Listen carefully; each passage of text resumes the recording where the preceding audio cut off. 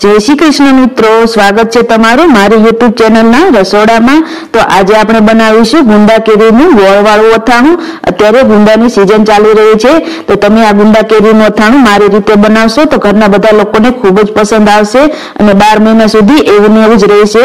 ઘણા લોકોનું અથાણું બગડી જતું હોય છે, તો તમે મારી રીતે બનાવશો તો તમારું અથાણું બિલકુલ નહીં બગડે અને બાર મહિના સુધી એવું ને એવું જ રહેશે.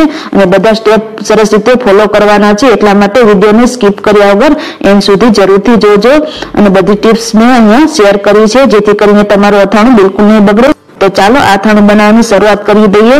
અને જો તમને આથાણાની રેસીપી પસંદ આવે તો તમારા ફ્રેન્ડ્સ અને ફેમિલીમાં શેર કરવાનું ભૂલતા નહીં. અને વિડીયોને એક લાઈક જરૂરથી આપજો, જેથી કરીને તમારા માટે આવા જ નવા નવા વીડિયો લાવવાનું અમારું પ્રોત્સાહન બન્યું રહે. તો સૌથી પહેલા અહીંયા મેં બસો પચાસ ગ્રામ ગુંદા લઈ લીધા છે. તમારે જેટલું બનાવવું હોય અથાણું એ પ્રમાણે તમારે ગુંદા લઈ લેવાના છે.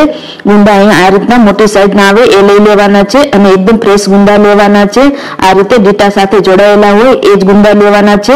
અલગ થઈ ગયેલા ગુંદા અહીંયા લેવાનો નથી. તો આ ગુંદાને સરસ રીતે પાણીથી ધોઈ લઈશું. સૌથી પહેલા આપણે તો અહીંયા આપણે પાણીમાં ગુંદાને સરસ રીતે એડ કરી દઈશું અને સરસ રીતે હાથોથી મસ્ત મદદથી મસળીને સરસ રીતે ધોઈ લેવાના છે. જેથી કરીને એમાં વધારાનું કોઈ કચરું કે માટી હોય તો સરસ રીતે નીકળી જાય. તો એને ત્રણથી ચાર પાણી સરસ રીતે ધોઈ લેવાના છે. તો એમાં જો કોઈ અલગ ગુંદા હોય તો એને આપણે કાઢી લઈશું. અહીંયા આપણે બીટા સાથે જોડાયેલા ગુંદા હોય, એ જ લેવાના છે. અલગથી જે ગુંદો પડી ગયો હોય, એને સરસ રીતે બહાર કાઢી લેવાના છે. આ ગુંદાને આપણે અંદર એડ નથી કરવાની, કારણ કે આ ગુંદામાં પાણી ભરાઈ જાય છે, જેથી કરીને આપણું અથાણું બગડવાનો ચાન્સ રહે છે. તો આ રીતના જે અલગ ગુંદા હોય, એને સાઈડમાં કાઢી લેવાના છે. એ આપણે અથાણામાં એડ નથી કરવાના. તો બીટા સાથે જોડાયેલા બધા જ ગુંદાને આપણે સરસ રીતે ધોઈ લઈશું. ત્રણથી ચાર પાણી સરસ રીતે બધા વોશ કરી લેવાના છે. અને ત્યારબાદ આપણે પાણી નિતારી લઈશું અને કોરા નેપકિન ઉપર આને પંખા નીચે બે કલાક માટે સુકાવા દઈશું, જેથી કરીને એનું વધારાનું પાણી સરસ રીતે સુકાઈ જાય. અહીંયા આપણા ગુંદામાં ભેજ ન રહે એ વાતનું ખાસ ધ્યાન રાખવું અને પાણી સરસ રીતે સુકાઈ જવું જોઈએ. તો આ ગુંદાને પંખા નીચે બેથી ત્રણ કલાક માટે સરસ રીતે સુકાવા દઈશું. અને ત્યારબાદ આપણે આગળની પ્રોસેસ કરીશું. હવે અહીંયા આગળની પ્રોસેસમાં આપણે તેલ ગરમ કરી લેવાનું છે. તો અહીંયા આપણે બસો પચાસ ગ્રામ ગુંદા છે. તો એની સામે આપણે બસો પચાસ ગ્રામ સિંગતેલ લીધું છે મેં અહીંયા. જો તમને સરસ્યું પસંદ હોય તો તમે સરસિયાનો ઉપયોગ પણ કરી શકો છો. હવે આ તેલને સરસ રીતે આપણે ગરમ કરીને ઠંડુ પાડી લેવાનું છે. જ્યારે આપણે અથાણાનો મસાલો કરીએ ત્યારે આ તેલ સરસ રીતે ઠંડુ હોવું જોઈએ. તો અહીંયા ધુમાડો નીકળી જાય ત્યાં સુધી આ તેલને ગરમ કરીને ત્યારબાદ ઠંડુ કરી લેવાનું છે. તો તેલ આપણું સરસ રીતે ઠંડુ ગરમ થઈ ગયું છે. તો હવે એને સાઈડમાં આપણે રાખી દઈશું અને ઠંડુ થવા માટે મૂકી દેવાનું છે. તો જ્યારે આપણે અથાણાનો મસાલો ભરીએ ત્યારે આ તેલ એકદમ ઠંડુ હોવું જોઈએ. તો આ તેલને ગરમ કરીને સરસ રીતે ઠંડુ કરી લેવાનું છે. તો ગુંદા આપણે સરસ રીતે સુકાઈ ગયા છે. હવે અહીંયા અમે બસો પચાસ ગ્રામ ગુંદા લીધા છે. તો એની સામે આપણે બસો પચાસ ગ્રામ કેરી લેવાની છે. તમને જે સાઈઝની મળે એ સાઈઝની તમે લઈ શકો છો. અહીંયા અમે કેસર કેરી જે નાની સાઈઝની આવે છે, એ બસો પચાસ ગ્રામ લઈ લીધી છે. અહીંયા તમે કેરીનું માપ વધારે કે ઓછું કરી શકો છો. કેરી આ અથાણામાં પ્રિઝર્વેટિવનું કામ કરે છે એટલા માટે કેરી જરૂરથી એડ કરવી, જેથી કરીને આપણું અથાણું બિલકુલ બગડતું નથી. હવે અહીંયા મેં બસો પચાસ ગ્રામ અથાણાનો મસાલો લઈ લીધો છે અને બસો પચાસ ગ્રામ તેલ આપણું જે ગરમ કર્યું હતું એ સરસ રીતે ઠંડુ કરી લીધું છે. અહીંયા જે મેં અથાણાનો મસાલો ઉપયોગમાં લીધો છે એ મેં ઘરે જ બનાવેલો છે. એની રેસીપી તમે મારી ચેનલ ઉપર જોઈ શકો છો. તો હવે આપણે જે કેરી લીધી હતી એને આપણે સરસ રીતે છાલ ઉતારીને ઝીણા ટુકડામાં સમારી લેવાની છે. તમને મોટી સાઈઝના ટુકડા પસંદ હોય તો તમે મોટી સાઈઝના પણ કરી શકો છો. અહીંયા અમે આ રીતના ઝીણા ટુકડામાં સમારી લીધી છે. ઘણા લોકો ક્રશ કરીને એડ કરતા હોય છે, પરંતુ એમાં પાણીનો ભાગ રહી જાય છે, એટલા માટે એમનું અથાણું બગડી જતું હોય છે. તો આ રીતે આપણે કેરીને ઝીણા ટુકડામાં જ સમારવાની છે. હવે આપણે ગુંદાને સરસ રીતે આ રીતે ગીટાથી અલગ કરી લેવાના છે અને બધા ગુંદાને સરસ રીતે તૈયાર કરી લઈશું અને ડેટા અલગ કરી દઈશું. હવે એમાં જો કોઈ પણ ગુંદુ આ રીતે ખરાબ હોય તો એને અલગ કરી લેવાનું છે. જેથી કરીને આપણું અથાણું બગડે નહીં. તો આ રીતે સરસ રીતે બધા અથાણામાં ગુંદા સરસ રીતે ચેક કરીને જ એડ કરવા. તો આ ગુંદાને બધા સરસ રીતે ચેક કરી લેવા. હવે ત્યારબાદ આપણે ગુંદાને આ રીતે એક દસ્તાની મદદથી આ રીતે તોડી લેવાનું છે. અને એમાં જે રીતે મીઠું લઈને ચમચીની મદદથી એનો બીજ કાઢી લેવાનો છે. આસાનીથી બીજ નીકળતો નથી, એટલા માટે એક ચમચી લઈને એને મીઠાવાળી કરી લેવાની છે, જેથી કરીને આ ગુંદામાંથી સરસ રીતે બીજ આસાનીથી નીકળી જાય. આ ટ્રીક ફોલો કરીને તમે આ રીતે બીજ આસાનીથી કાઢી શકો છો. અને આ સ્ટેપ ફોલો કરીને બધા જ કુંડામાંથી સરસ રીતે બીજ અને આ રીતે જે ચિકાસવાળો ભાગ હોય એ કાઢી લેવાનો છે. તમે એક સાથે બધા ગુંદાને આ રીતે દસ્તાની મદદથી ફોડીને તૈયાર કરીને બાદમાં એક સાથે તમે બીજ કાઢી શકો છો. શકો છો. અને મીઠાવાળી ચમચીની મદદથી એક સાથે તમે બધા બીજ કાઢીને તૈયાર કરી શકો છો. અથવા તો બે જણા હોય તો આસાનીથી સરસ રીતે ગુંદા બીજ કાઢીને અલગ થઈ જાય છે. તો જલ્દીથી સરળતા રહે છે. હવે ત્યારબાદ આપણે જે અથાણાનો મસાલો લીધો હતો, એ ગુંદામાં સરસ રીતે ભરી લેવાનો છે. સરસ રીતે દબાવીને ગુંદાને સરસ રીતે ભરી લેવાના છે. તો આવી જ રીતે આપણે બધા ગુંદાને સરસ રીતે ભરીને તૈયાર કરી લઈશું. અને બાદમાં જે મસાલો વધે, એ આપણે અથાણાનું જે પ્રિપરેશન કરીશું, એમાં એડ કરીશું, તો અહીંયા મેં બસો પચાસ ગ્રામ અથાણાનો મસાલો લીધો છે. તમને જે રીતનું તીખું પસંદ હોય એ પ્રમાણે તમે વધારે કે ઓછો કરી શકો છો. હવે બધા ગુંદા સરસ રીતે ભરીને તૈયાર થઈ ગયા છે. તો હવે આપણે અથાણું સરસ રીતે ભેળવી દઈશું. એના માટે આપણે એક મોટું વાસણ લઈ લઈશું. એમાં આપણે વધેલો જે અથાણાનો મસાલો હતો એ એડ કરી દઈશું.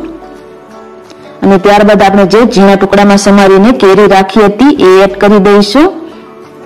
અહીંયા કેરીને તમે ઝીણી અથવા મોટા ટુકડામાં ગમે તે રીતે સમારી શકો છો. હવે અહીંયા હું થોડો ગોળ એડ કરી રહી છું. અહીંયા મેં સો ગ્રામ જેટલો દેશી ગોળ લીધો છે. અહીંયા તમે ગોળને સ્કીપ કરી શકો છો. જો તમને તીખું પસંદ હોય તો અહીંયા આપણે કેરીનો ઉપયોગ કર્યો છે. એટલા માટે હું ગોળ એડ કરી રહી છું, જેથી કરીને આપણું આ અથાણું થોડું ખાટું મીઠું બનશે. હવે આ ત્રણેય વસ્તુને આપણે જે તેલ ગરમ કર્યું હતું, ઠંડુ કરી લીધું છે. એ અડધું તેલ ઉમેરી દઈશું અને આ ત્રણેય વસ્તુને સરસ રીતે મિક્સ કરી દઈશું. અહીંયા આપણો આ ગોળ એકદમ ઝીણો સમારીને લીધો છે, એટલા માટે એને ઓગળતા વાર નહીં લાગે. આ રીતે થોડી વાર માટે હલાવી લઈશું, જેથી કરીને મસાલો, ગોળ અને કેરી સરસ રીતે મિક્સ થઈ જાય. તો અહીંયા આપણે અડધું તેલ અત્યારે એડ કરી દીધું છે અને અડધું તેલ આપણે બાદમાં એડ કરીશું. તો આ બધી વસ્તુ આપણી સરસ રીતે મિક્સ થઈ ગઈ છે. તો અથાણું ભરવા માટે એક સાફ કાચની બરણી લઈ લેવાની છે. એને સરસ રીતે પાણીથી ધોઈને તડકે તપાવીને જ આ અથાણું ભરવાનું છે, જેથી કરીને આપણું અથાણું બાર મહિના સુધી એવું ને જ રહે. તો સૌથી પહેલા આપણે બધા ગુંદા એમાં એડ કરી દઈશું. બધા ગુંદા સરસ રીતે એડ કર્યા બાદ ઉપરથી આપણે જે કેરી, અથાણાનો મસાલો અને ગોળવાળું મિશ્રણ બનાવ્યું હતું, એ ઉપરથી એડ કરી દઈશું. આ બધું અથાણાનું મસાલાવાળું મિશ્રણ પણ સરસ મેં એડ કરી દેવાનું છે.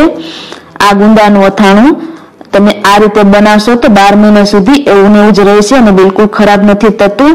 આ ગુંદાને અથાતા સાત દિવસ જેટલો સમય લાગે છે અને કેરી પણ સરસ રીતે અથાઈ જશે અને ગોળ પણ સરસ રીતે ઓગળી જશે. એટલા માટે તમે સાતથી દસ દિવસની અંદર આ અથાણું ખાવાનું શરૂ કરી શકો છો. અને બિલકુલ બગડતું નથી બાર મહિના સુધી એવું ને એવું જ રહે છે. તો આ બધો મસાલો આપણે સરસ રીતે ગોળ ગોળવાળો એ આપણે બરણીમાં એડ કરી દીધો છે. તો હવે એને એકવાર સરસ રીતે મિક્સ કરી દઈશું. અને જે આપણે તેલ વધાર્યું હતું, એ બધું એડ કરી દેવાનું છે. અહીંયા આપણે બસો પચાસ એમએલ તેલ લીધું છે, એ બધું એડ કરી દઈશું અને સરસ રીતે મિક્સ કરી દઈશું. ગુંદા આપણા તૂટી ન જાય, એ રીતે હળવા હાથે મિક્સ કરી દઈશું. અહીંયા આપણે આ થાણું સરસ રીતે તેલમાં ડૂબી રહે એટલું એડ કરવાનું છે. લગોલગ રહે એ રીતનું આપણે તેલ એડ કર્યું છે અત્યારે. બાદમાં એ તેલ આપણું એક ઇંચ જેટલું ઉપર આવી જશે. જે આપણો ગોળ ઉગળશે એમ એમ આપણું તેલ સરસ રીતે ઉપર આવતું જશે. તો અત્યારે આપણે અથાણાની સમાંતર રહે એટલું આપણે તેલ એડ કરી દેવાનું છે. બાદમાં એ તેલ સરસ રીતે ઉપર આવી જશે. જેમ જેમ ગોળ ઓગળતો જશે, એમ એ રસો થતો જશે. તો આ રીતે ઢાંકણ ઢાંકીને આપણે આને અઠવાડિયા સુધી રહેવા દઈશું. અને દિવસમાં એક થી બે વાર સરસ રીતે હલાવી લેવાનું છે, જેથી કરીને ગોળ આપણો સરસ રીતે ઓગળતો જાય. હવે આપણે અઠવાડિયા બાદ ચેક કરી લઈશું. હવે અહીંયા સાત દિવસ જેટલો સમય થઈ ગયો છે, તો આપણે અથાણું ચેક કરી લઈએ. તો આપણે જે તેલ એડ કર્યું હતું, એ ગુંદાને સમાંતર રાખ્યું હતું, અથાણાને, એ આપણું ઉપર આવી ગયું છે અને સરસ રીતે તેલનો રસો થઈ ગયો છે અને ગોળનો પણ સરસ રીતે રસો થઈ જાય છે, જે અથાણાની ઉપર એક ઇંચ જેટલું આપણું તેલ રહેવું જોઈએ. જો તમારું તેલ વધારે ઉપર ના રહે, તો ઉપરથી બીજું તેલ તમારે ગરમ કરીને એડ કરી દેવાનું છે. તો આ રીતનું આપણું અથાણું સરસ રીતે તેલમાં ડૂબો ડૂબ રહેવું જોઈએ, જેથી કરીને બાર મહિના સુધી બગડશે નહીં. તો હવે તમને કાઢીને બતાવી દઉં કે આપણું અથાણ સરસ રીતે બનીને તૈયાર થઈ ગયું છે. જો તમને બાદમાં ગોળ કે કેરી ઓછી લાગે તો તમે બાદમાં પણ એડ કરી શકો છો. હવે આપણું અથાણું સરસ રીતે તૈયાર થઈ ગયું છે. જો તમને ગુંદા હજી કાચા લાગે, અથાયેલા ના લાગે બરોબર, તો તમે વધારે બે ચાર દિવસ સુધી રાખી શકો છો અને બાદમાં ખાવાનું શરૂ કરી શકો છો. તો અહીંયા આપણું ગુંદા કેરીનું ગોળવાળું સરસ રીતે ખાટું મીઠું અથાણું બનીને તૈયાર થઈ ગયું છે. તો આને તમે મારી રીતે બનાવશો તો બાર મહિના સુધી બિલકુલ બગડશે નહીં અને સરસ રીતે એવું ને જ રહે છે. માત્ર આ અથાણાને તમારે તેલમાં ડૂબો ડૂબ રાખવાનું છે. જો તમને બાદમાં તેલ ઓછું લાગે તો તમારે ગરમ કરીને તેલ ઠંડુ પાડીને ઉમેરતા રહેવાનું છે. તો તમારું અથાણું બિલકુલ નહીં બગડે. તો તમને જો મારા ગુંદા કેરીના અથાણાનો વીડિયો પસંદ આવ્યો હોય તો તમારા ફ્રેન્ડ્સ અને ફેમિલીમાં શેર કરજો. ચેનલને સબસ્ક્રાઇબ કરજો.